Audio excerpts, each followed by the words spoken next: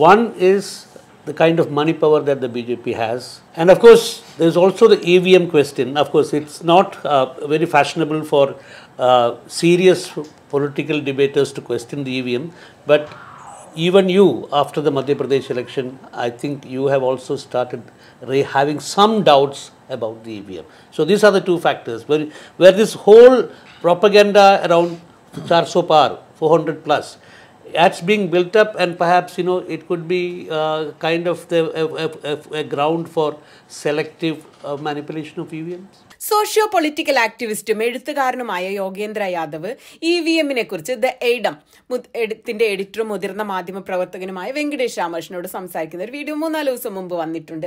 അതിൽ E V എമ്മിനെ കുറിച്ചുള്ള ആശങ്കകളൊക്കെ ഇവർ തമ്മിൽ സംസാരിക്കുന്ന ഒരു വീഡിയോ ആണിത്. ഇന്ന് സുപ്രീം കോടതി വി വി പാറ്റ് കേസിൽ വാദം പൂർത്തിയാക്കി വിധി പറയുന്ന ദിവസമാണ്. നമുക്കറിയാം അത്ഭുതങ്ങളൊന്നും ഉണ്ടാവില്ല പക്ഷെ ഇത്തരം കാര്യങ്ങളൊക്കെ നമ്മൾ ചർച്ച ചെയ്തു പോകേണ്ടതുണ്ട് എന്നതുകൊണ്ട് ഞാൻ ഇത് നിങ്ങളോട് പറയുകയാണ്. എന്തുകൊണ്ടാണ് ഇ വി എമ്മിനെ കുറിച്ച് ഇത്ര വലിയ ആശങ്കയും സംശയവും ഒക്കെ രൂക്ഷമായി നമ്മളുടെ ഇടയിൽ നിലനിൽക്കുന്നതെന്നറിയാമോ രാഷ്ട്രീയ സാഹചര്യങ്ങൾ പോലും വിലയിരുത്താതെ പ്രധാനമന്ത്രി നരേന്ദ്രമോദി നാനൂറ് സീറ്റ് കിട്ടും നാനൂറ് സീറ്റ് കിട്ടുമെന്ന് നിരന്തരം പറയുന്നതാണ് ഈ സംശയങ്ങൾ ജനങ്ങൾക്കിടയിൽ ഉണ്ടാക്കുന്നത്. എവിടെ നിന്നാണ് നരേന്ദ്രമോദിക്ക് അത്തരത്തിലൊരു ഉറപ്പുണ്ടായത് എന്നതാണ് ഇപ്പോൾ നടക്കുന്ന ഈ ചർച്ചകൾ. ഈ നാനൂറ് സീറ്റിനെ കുറിച്ച് തന്നെയാണ് യോഗേന്ദ്രയും വെങ്കടേഷും തമ്മിൽ സംസാരിക്കുന്നതും.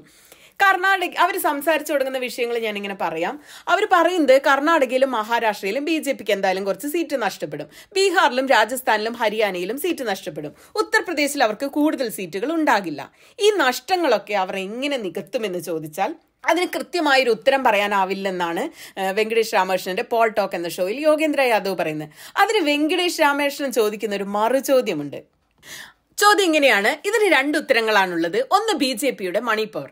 ലോകത്തിലെ ഏറ്റവും വലിയ സാമ്പത്തിക ഭദ്രതയുള്ള രണ്ടാമത്തെ പൊളിറ്റിക്കൽ പാർട്ടിയാണ് ബി ജെ പി. ഒന്നാമത്തേത് ചൈനയിലെ കമ്മ്യൂണിസ്റ്റ് പാർട്ടി. രണ്ടാമത്തെ സംഗതി ഇ വി എം ആണ്. എനിക്കറിയാം ഇ വി എമ്മിനെ കുറിച്ച് ഇന്നത്തെ കാലത്ത് ചർച്ച ചെയ്യുന്നത് ഇന്ത്യയിലെ മുതിർന്ന പൊളിറ്റിക്കൽ ഡിബേറ്റേഴ്സിന്റെ ഇടയിൽ അത്ര വലിയ ഫാഷൻ ഒന്നുമല്ല നിങ്ങളടക്കം യോഗേന്ദ്രായ അടക്കം ചിലർക്കെങ്കിലും മധ്യപ്രദേശ് തെരഞ്ഞെടുപ്പിന് ശേഷം ഇ വി എമ്മുകളെ കുറിച്ചുള്ള സംശയങ്ങൾ വീണ്ടും ഉയർന്നു വന്നിട്ടുണ്ട്. നാനൂറ് കടക്കുമെന്ന് പറയുന്ന ഈ വലിയ പ്രൊപ്പകാണ്ട മുഴുവൻ ചിലയിടത്തെങ്കിലും ഇ വി എം തട്ടിപ്പെങ്ങാനും നടത്താനുള്ള ഒരു ഗ്രൗണ്ട് ഒരുക്കലാണോ എന്നൊരു സംശയമാണ് വെങ്കടേഷ് രാമകൃഷ്ണൻ ചോദിക്കുന്നത്. അപ്പൊ യോഗേന്ദ്ര യാദവ് ഇതിന് മറുപടി പറയുന്നത് പണം എന്ന് പറയുന്നത് വലിയൊരു ഘടകം തന്നെയാണ്. പണം കൊണ്ട് മാത്രമാണ് ഇന്ന് ബി ജെ പി ഇപ്പൊ എവിടെ എത്തി നിൽക്കുന്നോ അവിടെ വന്ന് നിൽക്കുന്നത്. ബി ജെ പി മുന്നിട്ട് നിൽക്കുന്നത് അവർ മാധ്യമങ്ങളെ നിയന്ത്രിച്ച് നിർത്തുന്നത് ജനങ്ങൾക്ക് ഇത്രയും ജനങ്ങളിലേക്ക് ഇത്രയും റീച്ചോട് കൂടി അവർ കാര്യങ്ങൾ എത്തിക്കുന്നത്. കർണാടകയിൽ ബി ജെ പി ഇപ്പോഴും മത്സരിച്ചുകൊണ്ട് നിൽക്കുന്നത്. തമിഴ്നാട്ടിൽ ബി ജെ പി ഇപ്പോൾ ചെയ്തുകൊണ്ടിരിക്കുന്ന ഈ പ്രചാരണം തുടങ്ങി എല്ലാത്തിന്റെ അടിസ്ഥാന കാരണം പണമാണ്. പക്ഷെ അതാരും പരിശോധിക്കുന്നില്ല. ഇ വി എം എന്നത് ഒരു വേറെ വിഷയമാണ്. അതിൽ രണ്ടു മൂന്ന് കാര്യങ്ങൾ പറയാനുണ്ട്. ഇ വി എമ്മുകൾ കബളിപ്പിക്കാൻ പറ്റുന്ന ഒരു സംവിധാനമാണെന്ന് രാജ്യത്ത് പതു പൊതുവെ ഒരു ധാരണയൊക്കെയുണ്ട്. എന്നത് ശരിയാണ്. അങ്ങനെ ഒരു ധാരണ അത് തെറ്റായിരിക്കാം ചിലപ്പോൾ പക്ഷെ തെറ്റാണെങ്കിൽ കൂടി ജനാധിപത്യത്തിൽ അത് അഭിസംബോധന ചെയ്യപ്പെടേണ്ടതുണ്ട്. സി എസ് ഡി എസ് ഒരു സർവേ നടത്തിയിരുന്നു. അതിൽ പറയുന്നത് ഇന്ത്യയിലെ ഏറ്റവും വിശ്വാസയോഗ്യമായ സ്ഥാപനം തെരഞ്ഞെടുപ്പ് കമ്മീഷനാണ് എന്നാണ്. എന്നാൽ ശേഷന് ശേഷം ഇതിന്റെ വിശ്വാസ്യത താഴേക്ക് കൂപ്പ് കൊടുത്തിക്കൊണ്ടിരിക്കുകയാണെന്നാണ് ആ സർവേയിൽ പറയുന്നത്. ഇ വി എമ്മിനെ കുറിച്ചാണെങ്കിൽ ജനങ്ങൾ ഇങ്ങനെ നിരന്തരം ചോദ്യങ്ങൾ ചോദിക്കുന്നുണ്ട്. ഞാൻ യാത്ര ചെയ്യുമ്പോൾ യോഗേന്ദ്ര പറയുന്നതാണ് ആദ്യമായി കേട്ടത് ബട്ടൺ ഞെക്കിയാൽ പുറത്തു വരുന്നത് വേറെന്തോ ആണെന്ന് ഇങ്ങനെ രണ്ടുപേരിരുന്ന് പറയുന്നതാണ്. അത് സംഭവിക്കാൻ തുടങ്ങിയിരിക്കുന്നു. ആളുകൾക്ക് സംശയം വന്നു. ഇതാണ് കഥയെങ്കിൽ ഇതെല്ലാം തെറ്റാണെങ്കിൽ അപ്പോഴും നമ്മൾ അതെല്ലാം പരിശോധിക്കണം. ദൗർഭാഗ്യകരം എന്ന് പറയട്ടെ ഇന്ത്യയുടെ തെരഞ്ഞെടുപ്പ് കമ്മീഷൻ ഈ വിഷയങ്ങളൊന്നും അഭിസംബോധന ചെയ്യുന്നേയില്ല.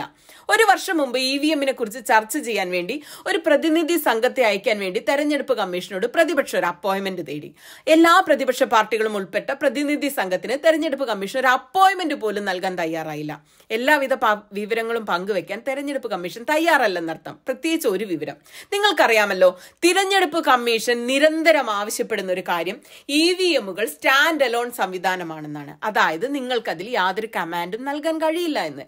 എന്നിട്ട് യോഗേന്ദ്ര തനിക്ക് എങ്ങനെയാണ് ഇ വി എമ്മിൽ സംശയമുണ്ടായത് എന്ന സാഹചര്യം പറയുന്നുണ്ട്. മുൻ ഐ എ എസ് ഓഫീസറായ കണ്ണൻ ഗോപിനാഥൻ ഉന്നയിച്ച ചില സംശയങ്ങളിൽ നിന്നാണ് തനിക്ക് സംശയം തുടങ്ങിയതെന്നാണ് യോഗേന്ദ്ര പറയുന്നത്. കണ്ണൻ ഗോപിനാഥൻ ഉയർത്തിയ വിഷയം നമ്മൾ കഴിഞ്ഞ ദിവസം ഒരു വീഡിയോയിൽ സംസാരിച്ചിരുന്നു. കണ്ണൻ ഗോപിനാഥിന്റെ വാദം എങ്ങനെയായിരുന്നു? രണ്ടായിരത്തി പത്തൊമ്പതിലെ ലോക്സഭാ തെരഞ്ഞെടുപ്പ് വരെ അപ്പൊ ജില്ലാ കളക്ടറൊക്കെ ആയിരിക്കുമ്പോൾ റിട്ടേണിംഗ് ഓഫീസർ എന്ന നിലയിലൊക്കെ തെരഞ്ഞെടുപ്പ് രംഗത്ത് വളരെ സജീവമായിരുന്നു. പക്ഷെ രണ്ടായിരത്തി പതിനേഴ് വരെ ഇ വി എമ്മിനെ സംശയിച്ചിട്ടേയില്ല. വോട്ടിംഗ് യന്ത്രത്തിനെ ശക്തമായി പിന്തുണയ്ക്കുകയും ഇത് ഹാക്ക് ചെയ്യാൻ പറ്റില്ല. പറ്റില്ല എന്ന നിലപാടെടുത്തിരുന്ന മനുഷ്യരുടെ കൂടെയായിരുന്നു കണ്ണൻ ഗോപിനാഥിനും. എന്നാൽ രണ്ടായിരത്തി പത്തൊമ്പതിലെ ലോക്സഭാ തെരഞ്ഞെടുപ്പിനോടനുബന്ധിച്ച് ഡൽഹിയിൽ ഇലക്ഷൻ കമ്മീഷൻ നടത്തിയിരുന്ന പരിശീലനത്തിൽ സംബന്ധിക്കുമ്പോൾ തിരഞ്ഞെടുപ്പ് തിരഞ്ഞെടുപ്പ് പ്രക്രിയയിൽ ചില പോരായ്മകളുണ്ടോ എന്ന് സംശയം തോന്നാൻ തുടങ്ങി. India International Institute of Democracy and Election Management എന്ന സ്ഥാപനമായിരുന്നു തെരഞ്ഞെടുപ്പ് കമ്മീഷന്റെ ഒക്കെ നേരിട്ടുള്ള നിയന്ത്രണത്തിൽ കണ്ണൻ ഗോപിനാഥൻ ഉൾപ്പെടെയുള്ള റിട്ടേണിംഗ് ഓഫീസർമാർക്ക് ട്രെയിനിങ് നൽകിയിരുന്നത്. ആ തെരഞ്ഞെടുപ്പിലായിരുന്നു എല്ലാ ബൂത്തുകളിലും വി വി പാറ്റ് ഉപയോഗിച്ച് തെരഞ്ഞെടുപ്പ് നടത്താനുള്ള ഒരു തീരുമാനമുണ്ടായത്. അതുമായി ബന്ധപ്പെട്ട് കണ്ണന് ചില സംശയങ്ങൾ ഉണ്ടാകുകയും അത് അവിടെ ചോദിക്കാൻ ശ്രമിക്കുകയും ചെയ്തു. എന്നാൽ ചോദ്യങ്ങൾ ചോദിക്കാൻ പാടില്ല. താങ്കളുടെ ജോലി തെരഞ്ഞെടുപ്പ് പ്രക്രിയയിൽ ജനങ്ങളുടെ വിശ്വാസം ആർജിക്കാൻ പരിശ്രമിക്കുകയാണ് വേണ്ടതെന്ന് മറുപടി അദ്ദേഹത്തിന് കിട്ടി. തെരഞ്ഞെടുപ്പ് തൊട്ടടുത്ത് എത്തിയോണ്ട് ചോദ്യങ്ങൾ ചോദിക്കുക എന്നതിലുപരി ഒന്നും ചെയ്യാൻ പറ്റില്ലായിരുന്നു. ഇതിന്റെ ഇതിന്റെ ഭാഗമാകാൻ കണ്ണൻ നിർബന്ധിതനായി. എന്നാൽ അന്ന് കണ്ണൻ ഉയർത്തിയ ഒരു പ്രധാനപ്പെട്ട ചോദ്യം എന്ന് പറയുന്നത് ഈ വോട്ടിംഗ് യന്ത്രത്തിന് ബാഹ്യ ഉപകരണവുമായി ബന്ധമില്ല എന്നാണല്ലോ ഇലക്ഷൻ കമ്മീഷൻ അവകാശപ്പെടുന്നത്. എന്നാൽ തെരഞ്ഞെടുപ്പിന് പതിനഞ്ചോ ഇരുപതോ ദിവസങ്ങൾക്ക് മുന്നേ മാത്രം നിശ്ചയിക്കപ്പെടുന്ന സ്ഥാനാർത്ഥിയും അവരുടെ ചിഹ്നങ്ങളും പിന്നെ എങ്ങനെയാണ് വി വി പാറ്റ് വഴി പ്രിന്റ് ചെയ്യാൻ പറ്റുന്നത് എന്നതായിരുന്നു കണ്ണൻ ഗോപിനാഥൻ ഉന്നയിച്ച പ്രധാന പ്രശ്നം.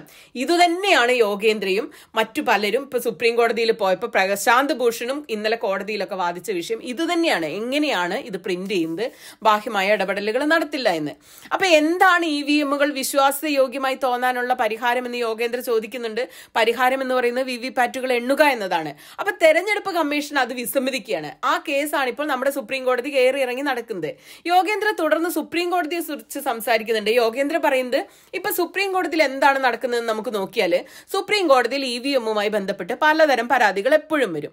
അതിൽ ഒന്നിൽ പറയുന്നത് പഴയ സംവിധാനമായ ബാലറ്റിലേക്ക് തിരിച്ചു പോകണമെന്നാണ്. അത് പ്രായോഗികമല്ല ശരിക്കും ഇത്രയും നമ്പേഴ്സ് വെച്ച്. അത് അംഗീകരിക്കുന്നില്ല. മറ്റൊരു ഹർജി ഈ വി വി പാറ്റുകൾ സ്വയം എടുത്ത് വോട്ടർമാര് പെട്ടിയിലിട്ട് പോട്ടെ എന്നാണ്. സാധാരണ നിലയിൽ കമ്മീഷൻ ഇതുകൊണ്ട് പ്രശ്നമൊന്നും വരണ്ടില്ല അങ്ങനെ ഇട്ട് പോയാൽ ഓക്കെ ആണല്ലോ. മറ്റു ചിലരുടെ ആവശ്യം അതിലും ചെറുതാണ് ഈ വി വി പാറ്റുകൾ എണ്ണണം എന്നാണ് ചിലർ ആവശ്യപ്പെടുന്നത്. അതും തെരഞ്ഞെടുപ്പ് കമ്മീഷൻ അംഗീകരിക്കുന്നില്ല. എന്തുകൊണ്ടാണ്? എന്താണ് തെരഞ്ഞെടുപ്പ് കമ്മീഷൻ ഇതിൽ നഷ്ടപ്പെടാനുള്ളത് എന്തുകൊണ്ടാണ് ഇത് ചെയ്യാത്തതെന്ന് ചോദിക്കുക അപ്പോൾ തെരഞ്ഞെടുപ്പ് കമ്മീഷന്റെ ഒരു ന്യായം സമയമെടുക്കുമെന്നാണ്. ഇതൊരു ട്വന്റി ട്വന്റി മത്സരമൊന്നും അല്ലല്ലോ. ഒരു ആറ് മണിക്കൂർ എടുത്താൽ എന്താണെന്ന് യോഗേന്ദ്ര ചോദിക്കുന്നുണ്ട്. അപ്പോൾ വെങ്കടേഷ് രാമകൃഷ്ണൻ പറയുന്നുണ്ട് തെരഞ്ഞെടുപ്പ് കമ്മീഷൻ രാജ്യത്ത് ഏറ്റവും വലിയ തെരഞ്ഞെടുപ്പാണ് ഇത്തവണ നടത്തുന്നത് അമ്പത് ദിവസം നീണ്ട തെരഞ്ഞെടുപ്പാണെങ്കിൽ പിന്നെ എന്താണ് കുറച്ച് ദിവസങ്ങൾ കൂടി വൈകിയാൽ? അപ്പോൾ യോഗേന്ദ്ര അതിനോട് യോജിച്ചുകൊണ്ട് പറയുന്നത് ശരിയാണ്. അമ്പത് ദിവസത്തെ തെരഞ്ഞെടുപ്പിൽ ഒരു പത്ത് മണിക്കൂറും കൂടെ വൈകിയാൽ എന്ത് പ്രശ്നമാണുള്ളത്? വി വി പാറ്റ് എണ്ണിക്കൂടെ എന്നാണ് ഇവർ സംസാരിക്കുന്നത്. നിങ്ങൾക്ക് തോന്നുന്നില്ലേ? നിങ്ങളോടാണ് എന്റെ ചോദ്യം. ഒരു അൻപത് ദിവസം നീണ്ട തെരഞ്ഞെടുപ്പാണ് നമ്മൾ നടത്തുന്നത്. ഇപ്പോൾ ഇന്ന് ഒന്നാം ഘട്ടം കഴിഞ്ഞു ഇന്ന് രണ്ടാം ഘട്ടം നമ്മളുടെ ഇലക്ഷൻ കഴിഞ്ഞു. അത് കഴിഞ്ഞ് ഇത്രയും ദിവസങ്ങൾ കഴിഞ്ഞിട്ടാണ് വോട്ടെണ്ണലൊക്കെ വരുന്നത്. അതിൽ രണ്ട് ദിവസം കൂടെ വൈകി എന്താണ് പ്രശ്നം? വി വി പാറ്റുകൾ മുഴുവൻ എണ്ണി ജനങ്ങളുടെ സംശയം തീർത്ത് മുന്നോട്ട് പോവുകയല്ലേ ശരിക്കും തെരഞ്ഞെടുപ്പ് കമ്മീഷൻ ചെയ്യേണ്ട? അതല്ലേ ജനാധിപത്യം എന്ന് പറയുന്നത്. യോഗേന്ദ്ര യാദവ് തുറന്നു തുടർന്ന് പറയുന്ന ഒരു കാര്യം ഈ തെരഞ്ഞെടുപ്പ് കമ്മീഷൻ ഈ ചോദ്യം കേൾക്കുമ്പോൾ തന്നെ പരിഭ്രമിക്കുകയാണ് നമ്മൾ ഇത്തരം സംശയങ്ങളിൽ നിന്ന്. നമ്മളിപ്പോൾ നിങ്ങളുടെ ചാനലിൽ ഈ വിഷയം ചർച്ച ചെയ്യുമ്പോൾ ഈ വീഡിയോയ്ക്ക് മോണിറ്റൈസേഷൻ ഉണ്ടാവില്ല. കാരണം ഇ വി എം എന്ന വാക്ക് ഉപയോഗിക്കുന്ന വീഡിയോകളോ വാക്കുകളോ ഒന്നും പിന്നെ സോഷ്യൽ മീഡിയ റെക്കമെൻഡ് ചെയ്യുന്നില്ല. ആളുകളിലേക്ക് എത്തുന്നില്ല. ആളുകൾക്ക് വീഡിയോ ഒന്നും കാണാൻ പറ്റുന്നില്ല. മറ്റുള്ളവർക്ക് സംഭവിക്കുന്നുണ്ട്. മോണിറ്റൈസേഷൻ ചെയ്യുന്നില്ല. അശോക് പാണ്ഡെയുടെ ഒരു ഷോയിൽ ഇ വി എമ്മിനെ കുറിച്ച് പോസിറ്റീവായി സംസാരിച്ചിട്ട് പോലും യൂട്യൂബിൽ നിന്ന് നോട്ടീസ് വന്നു. നിങ്ങളുടെ ഈ വീഡിയോ മോണിറ്റൈസ് ചെയ്യാൻ പറ്റില്ല എന്നൊക്കെ പറഞ്ഞുകൊണ്ട് അതിന്റെ സാങ്കേതിക വശങ്ങളും സംസാരിക്കുന്നുണ്ട്. എന്തിനാണ് ഇങ്ങനെ പരിഭ്രമിക്കുന്നതെന്നാണ് യോഗേന്ദ്ര ചോദിക്കുന്നത്. തിരഞ്ഞെടുപ്പിന് ഒരാഴ്ച മുമ്പ് ഇന്ത്യയുടെ തെരഞ്ഞെടുപ്പ് കമ്മീഷണർ രാജ് ഇതൊക്കെ യോഗേന്ദ്ര പറയുന്നതാണ് രാജിവെച്ചു. അതിൽ വളരെ നിഗൂഢതയുണ്ട്. ആർക്കും അറിയില്ല എന്തുകൊണ്ടാണ് അദ്ദേഹം രാജിവെച്ചതെന്ന്. കാരണം അവർ തന്നെയാണ് അദ്ദേഹത്തെ നിയമിച്ചത്. അദ്ദേഹം രാജിവെച്ചു. രണ്ട് പുതിയ ഓഫീസർ കമ്മീഷണർമാർ വന്നു. നമുക്കറിയില്ല എന്താണ് സംഭവിക്കുന്നതെന്ന്. ഒരു ഊഹം ഊഹിക്കാനേ നമുക്ക് പറ്റൂ. ഔദ്യോഗികമായി നമുക്ക് യാതൊരു അറിവുമില്ല. ഇതിന്റെ ഒരു കാരണമായിട്ട് ഞാൻ ഊഹിക്കുന്നത് തെരഞ്ഞെടുപ്പ് കമ്മീഷണറോട് എന്തോ ചെയ്യാൻ ആവശ്യപ്പെട്ടു. അത് അരുൺ ഗോയലിന് സ്വീകാര്യമായിരുന്നില്ല. അദ്ദേഹം അവരുടെ ആൾ തന്നെയാണ്. ചിലപ്പോൾ പറഞ്ഞിട്ടുണ്ടാകും എല്ലാം ചെയ്യാം. പക്ഷെ ഇത് എന്നെ കൊണ്ട് ചെയ്യിക്കരുതെന്ന്. അതുകൊണ്ട് അദ്ദേഹത്തോട് പുറത്തു പോകാൻ ആവശ്യപ്പെട്ടിട്ടുണ്ടാകും. പുതിയ ആൾക്ക് വഴി നൽകും എന്ന് പറഞ്ഞിട്ടുണ്ടാവും. ഈ പ്രശ്നം എന്താണ്? അത് ഇ വി എമ്മിനെ കുറിച്ചാണോ നമുക്കറിയില്ല. ഊഹിക്കാനേ പറ്റൂ എന്നുകൊണ്ട് യോഗേന്ദ്ര ഗുരുതരമായ ചില ആരോപണങ്ങൾ ഉന്നയിക്കുകയാണ്. ഇന്ത്യയിലെ തെരഞ്ഞെടുപ്പിന്റെ മൊത്തം വിശ്വാസ്യത അപകടത്തിലാണെന്നും തെരഞ്ഞെടുപ്പ് കമ്മീഷൻ സുതാര്യമാകണം പൊതുജനങ്ങളെ കാര്യങ്ങൾ അറിയിക്കണം ഈ ചിഹ്നം ചേർക്കുന്ന സോഫ്റ്റ്വെയർ എല്ലാവർക്കും കിട്ടുന്നുണ്ടാവില്ലേ? ചിഹ്നം ചേർത്തതിന് ശേഷം പ്രതിപക്ഷ പാർട്ടികൾക്ക് മെഷീൻ ചെക്ക് ചെയ്യാൻ ഒരു അവസരം നൽകണം. എന്താണ് ഇതൊന്നും ചെയ്യാത്തത്? ഈ ചോദ്യങ്ങളൊക്കെ നിർബന്ധമായും ചോദിക്കണം ഇതിന് ഉത്തരം കിട്ടണം. നമ്മുടെ തെരഞ്ഞെടുപ്പ് സംവിധാനം പാകിസ്ഥാനിലെയോ ബംഗ്ലാദേശിലെയോ പോകാൻ പോലെ ആകാൻ പാടില്ല. അവിടെ തിരഞ്ഞെടുപ്പിന് ശേഷം പ്രതിപക്ഷ പാർട്ടികൾ പറയുന്നു ഞങ്ങൾ ഈ തെരഞ്ഞെടുപ്പിൽ വിശ്വസിക്കുന്നില്ല എന്ന് നമുക്കറിയാമല്ലോ. ഇമ്രാൻഖാൻ എന്താണ് സംഭവിച്ചതെന്ന്? പാകിസ്ഥാനിൽ തിരഞ്ഞെടുപ്പ് ഫലം വരുന്ന അന്ന് പാകിസ്ഥാനിലെ ഒരു കലം കമന്ററി കേട്ടപ്പോൾ മാധ്യമപ്രവർത്തകർ നമ്മളെപ്പോലെ ഇങ്ങനെ ഇരുന്ന് സംസാരിക്കുന്നു. അവർ പറയുന്നത് ഇമ്രാൻഖാനാണ് നൂറ്റി മുപ്പത്തിനാലിൽ ലീഡ് ചെയ്യുന്നത് എന്നാണ്. രണ്ട് മൂന്ന് മണിക്കൂർ കഴിയട്ടെ വാർത്ത മാറും. അത് കുറച്ച് തൊണ്ണൂറിലെത്തിക്കും. തിരഞ്ഞെടുപ്പ് കമ്മീഷണർ ആർമിയുടെ ആളുകളെ കാണാൻ പോയിട്ടുണ്ട്. രാവിലെ ആകുമ്പോഴേക്കും ലീഡ് കുറയ്ക്കും. എന്നിട്ട് ആ മാധ്യമ മാധ്യമപ്രവർത്തകർ ഈ വിഷയം ചർച്ച ചെയ്യുന്നതും നല്ല പഞ്ചാബി തമാശ പറഞ്ഞ് ചിരിക്കുന്നതും ഒക്കെ പറയുന്നു യോഗേന്ദ്ര. അത് തന്നെയാണല്ലോ റിസൾട്ട് വന്നപ്പോൾ സംഭവിച്ചത്. അപ്പോൾ അതുപോലെ നമ്മുടെ രാജ്യം ആകാതിരിക്കാൻ വേണ്ടി നമ്മൾ അലേർട്ട് ആയിരിക്കും തെരഞ്ഞെടുപ്പ് കമ്മീഷൻ വളരെ സുതാര്യമായിരിക്കണം എന്നൊക്കെയാണ് യോഗേന്ദ്ര പറയുന്നത്. അപ്പോ വെങ്കടേഷ് ചോദിക്കുന്നുണ്ട് പക്ഷെ നമ്മുടെ മാധ്യമപ്രവർത്തകർ ഇതിനെക്കുറിച്ച് തമാശ പോലും പറയുന്നില്ല എന്നത് ഭയങ്കര ഭീകരാവസ്ഥയാണെന്ന് വെങ്കടേഷ് പറയുന്നു. യോഗേന്ദ്ര പറയുന്നുണ്ട് അതെ പാകിസ്ഥാനികൾക്ക് നല്ല ഹ്യൂമർ സെൻസ് ആണ് ഇതാണോ നമ്മുടെ രാജ്യത്തിന് വേണ്ടത്? ബംഗ്ലാദേശ് നോക്കൂ അവർ കെയർ ടേക്കർ പ്രധാനമന്ത്രിയാണ്. സുപ്രീം കോടതിയാണ് അവരുടെ തിരഞ്ഞെടുപ്പിനെ നിരീക്ഷിക്കുന്നത്. കാരണം പാർട്ടികൾക്ക് അവരുടെ തിരഞ്ഞെടുപ്പ് കമ്മീഷണറെ വിശ്വാസമില്ല. നമുക്ക് അങ്ങനെ ഒരു അവസ്ഥയൊന്നും എന്തൊരു കഷ്ടമാണ് അങ്ങനെയൊക്കെ വരികയാണ് ദൗർഭാഗ്യകരം എന്ന് പറയട്ടെ. നമ്മൾ ആ വഴിയെ കൂടെ പോയിക്കൊണ്ടിരിക്കുകയാണ്. അതാണ് എന്നെ സങ്കടപ്പെടുന്നു എന്നൊക്കെ പറഞ്ഞുകൊണ്ട് വളരെ ഒരു ഭയങ്കര ഹാർട്ട് ടച്ചിങ് ആയിട്ടുള്ള ഒരു സംഭാഷണമാണ് ഇവർ തമ്മിൽ നടത്തിയത്. ഇത് ശരിക്കും എല്ലാ മനുഷ്യരും കേട്ടിരിക്കേണ്ട ഒരു സംഭാഷണമാണ്. ആ വീഡിയോയുടെ ഇംഗ്ലീഷ് ഞാൻ താഴെ ലിങ്ക് ഇടാം. നിങ്ങൾ എല്ലാവരും പോയി കാണണം. ഇംഗ്ലീഷിലാണ് അവർ സംസാരിക്കുന്നത് സത്യത്തിൽ ഇത് വളരെ സീരിയസ് ആയൊരു വിഷയമാണ്. കഴിഞ്ഞ ദിവസം അസോസിയേഷൻ ഫോർ ഡെമോക്രാറ്റിക് റിഫോംസ് നൽകിയ ഹർജിയിൽ കോടതിയിൽ വാഗ്ദം കേൾക്കുകയുണ്ടായി. അപ്പോൾ വോട്ടിംഗ് യന്ത്രത്തിന് ഹാക്കിങ്ങിന് യാതൊരു തെളിവ് ഇതുവരെ ഇല്ല. ഭരണഘടനാ സ്ഥാപനത്തെ നിയന്ത്രിക്കാൻ കഴിയില്ല സുപ്രീം കോടതിക്ക് എന്ന് സുപ്രീം കോടതി പറയുന്നു. വി വി പാറ്റ് കേസിൽ വാദമൊക്കെ പൂർത്തിയായി. വിധി പറയാൻ മാറ്റി വെച്ച് ഇന്ന് വിധി വരും. നമ്മൾ ഇപ്പോൾ ഈ വീഡിയോ അപ്ലോഡ് ചെയ്തുകൊണ്ടിരിക്കുമ്പോൾ തന്നെ ഇതിന്റെ വിധി വരാൻ പോവുകയാണ്. കോടതിയിൽ എന്താണ് നടന്നതെന്ന് വെച്ചാൽ വി വി പാറ്റിന്റെ പ്രവർത്തനം സോഫ്റ്റ്വെയർ വിഷയങ്ങളിലെ തെരഞ്ഞെടുപ്പ് കമ്മീഷനോട് വിശദീകരണം ചോദിക്കുകയുണ്ടായി. അപ്പോൾ പിന്നെ വോട്ടിംഗ് മെഷീന്റെയും വി വി പാറ്റിന്റെയും ഒക്കെ പ്രവർത്തനം തെരഞ്ഞെടുപ്പ് കമ്മീഷൻ തന്നെ കോടതിയിലെത്തി കോടതിയിൽ വിശദീകരിച്ചു. വോട്ടിംഗ് മെഷീനിൽ വളരെ സുതാര്യമാണ്. കൃത്രിമം സാധ്യമല്ല എന്ന് തെരഞ്ഞെടുപ്പ് കമ്മീഷൻ കോടതിയിൽ പറഞ്ഞു. എല്ലാ വോട്ടുകളും വി വി പാറ്റ് സ്ലിപ്പുകളുമായി ഒത്തുനോക്കുന്നത് പ്രായോഗികമല്ല അതിന് സമയത്തിന്റെ പ്രശ്നമുണ്ടെന്ന് കമ്മീഷൻ പറയുകയും ചെയ്തു. മാതൃഭൂമി ഇതിന്റെ ലൈവ് ലോ നിങ്ങൾക്കറിയാം നമ്മൾ ലൈവ് ലോ എപ്പോഴും കോട്ടിയാറുണ്ട് ലൈവ് ലോ ഇതിന്റെ വിശദമായ റിപ്പോർട്ട് നൽകിയിട്ടുണ്ട്. അതുകൂടാതെ മാതൃഭൂമി മലയാളത്തിൽ ഇതിന്റെ ഒരു നല്ല റിപ്പോർട്ട് ചെയ്തിട്ടുണ്ട് ബാലഗോപാൽ ബി നായർ.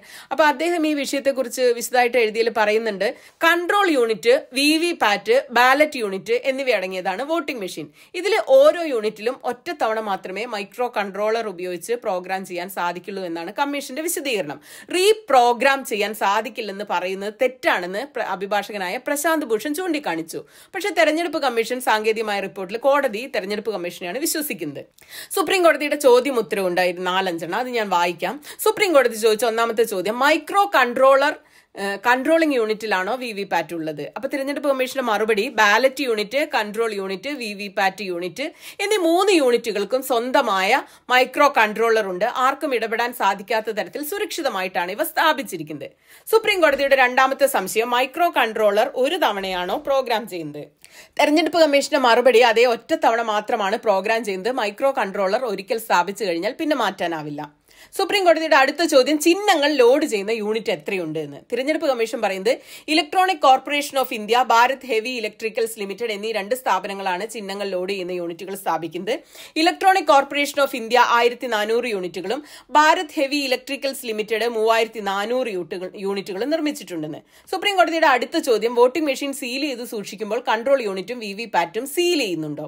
തെരഞ്ഞെടുപ്പ് കമ്മീഷന്റെ മറുപടി പോളിംഗ് പൂർത്തിയായ ശേഷം ballot unit control unit VVPAT unit എന്നിവ മൂന്ന് യൂണിറ്റുകളും ഒന്നിച്ച് സീൽ ചെയ്യും.